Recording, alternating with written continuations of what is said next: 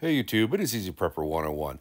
Today, we're going to give you a 2024 garden update of our garden and what we planted this year. And this first container we have here, this is a medium-sized pumpkin that we actually saved from the farmer's market last year. We actually cut it open, put the seeds in there. We're trying something new with that to see how well we can grow from seeds from a pumpkin. So trying to do something different. So um, excited for the pumpkins and see how they grow.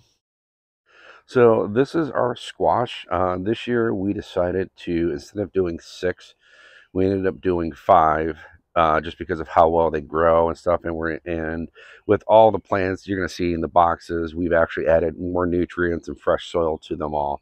Um, over the last few days, we have actually gotten hammered hard with a lot of rain. As you can see, some of the the leaves have kind of turned yellow with a little bit of brown. So we'll be kind of um, fixing those or getting rid of them.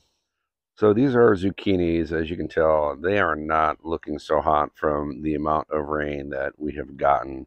Uh, a little worried. Um, these two here, um, I think they might be okay with some fresh ones, but we're going to wait and see.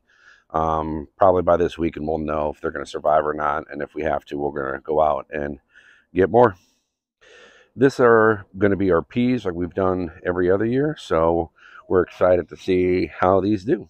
All right, so these are our tomatoes. We went with three this year. Uh, that is our big beef in the left, two Roma. You can see our basil is not doing good with the amount of rain we've gotten over the last um, week or so. So hopefully um, we can get some warm weather. Hopefully it perks up. If not, might have to buy another basil plant.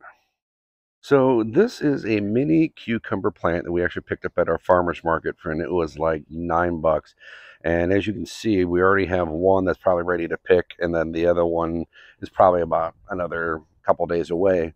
But we wanted to try something different. My wife loves mini cucumbers, and we haven't had much success over the last few years with cucumbers. So we're giving the plant the try. And also, too, we put the mini cucumber with the rain that we've gotten in our uh, potato box.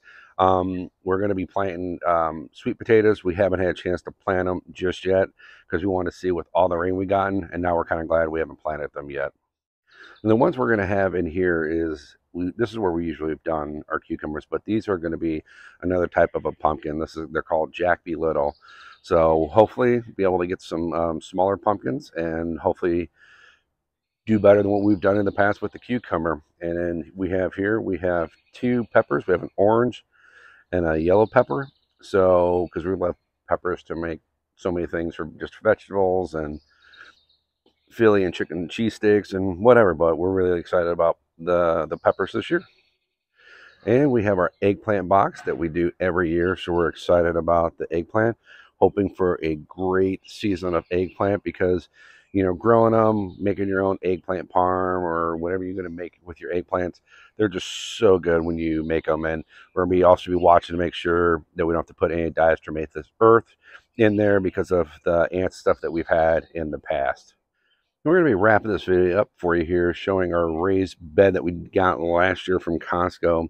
These are going to be beans, so we're trying something different in this box right here. So we're hopefully get some great beans this year. Then we have some lunchbox red um, small peppers that were hopefully they're going to turn out good. And then these are two sweet bell peppers that hopefully going to, you know, we're really trying to beef up our pepper game this year. And then up top here, we have our rain barrel catching system.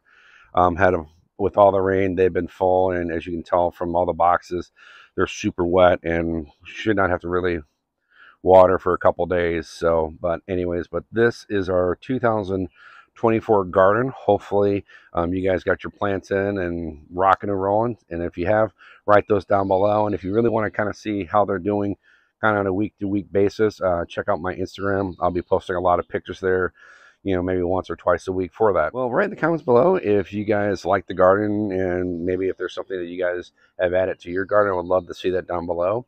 Hit the thumbs up if you like this video, and if you haven't, please hit the subscribe button. Thank you guys so much. We will catch you guys down the road.